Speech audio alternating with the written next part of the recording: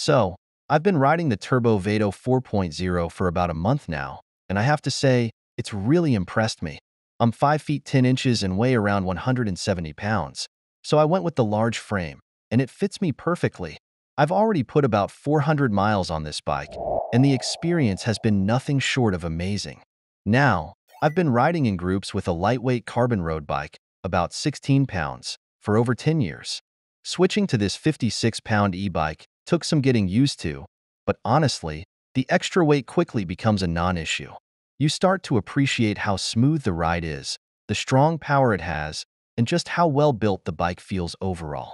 Plus, the advanced monitoring system is a real standout. It's got a color display and tons of features that make riding even more enjoyable. Before buying, I did a lot of research. I compared bikes from Trek, Canyon, Cannondale, Aventon, and others, but in the end, I went with Specialized. And I'm really glad I did.